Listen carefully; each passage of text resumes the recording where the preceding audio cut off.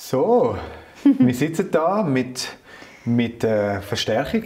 Absolut. Wer genau. sind die und warum sitzen Aha. sie da bei uns? Also das ist Lisa, das ist der Anton.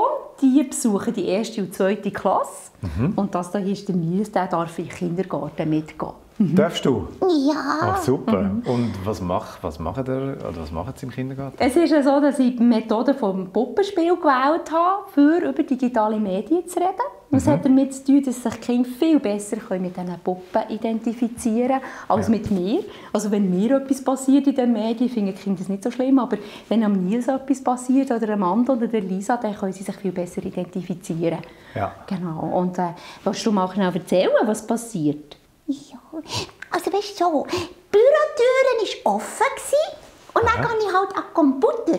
Weißt du so, und dann mache ich so, bam, bam, bam, bam, Allein? bam. Ja, Ups. Mhm, genau. Und das ist dann das, warum ich auch ein verrückt bin auf dich, gell? Ja, das habe ich nicht gerne, wenn man mich nicht fragt. Und im Computer hat es ja auch Sachen für Erwachsene oder im Handy und im Tablet. Und darum wollte ich nicht, dass der Nils da einfach dran geht, gell? ja, Und abgesehen davon, du machst noch ganz viel anderes gerne. Ja. gell? Was nicht mit Medien zu tun hat, gell? Genau. Da können wir ja vielleicht später mal noch ein paar Sachen erfahren. Was ist, also heisst das, dass jede Figur hat für sich eine Geschichte oder Themen? Ja, also das ist auch der Nils. Das zwei sind übrigens Zwillinge, Ah. also sie sind Geschwister. Und zusammen? Und sie haben zusammen eine Geschichte, die sie erzählen. Beziehungsweise er macht eben ein Foto von Lisa, ihre Situation, wo sie etwas macht, wo, wo nicht erlaubt ist.